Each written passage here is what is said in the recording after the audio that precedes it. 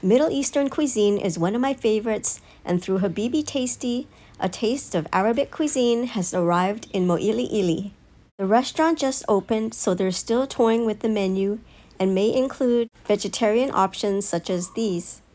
An appetizer platter includes hummus, a green salad, four falafel, baba ganoush, and two pieces of flatbread. It's almost a complete meal.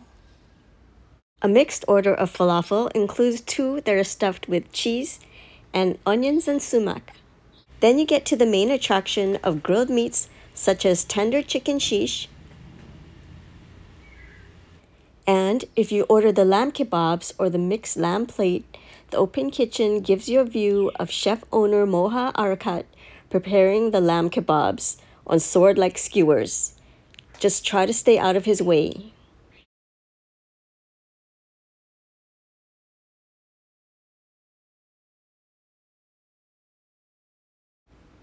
Here's a look at the finished kebabs straight off the grill, as well as lamb chops and lamb shish that are part of the mixed lamb plate. Easily a meal for two with sides of rice, salad, bread, and hummus. There's also beef kebabs for those who don't care for lamb.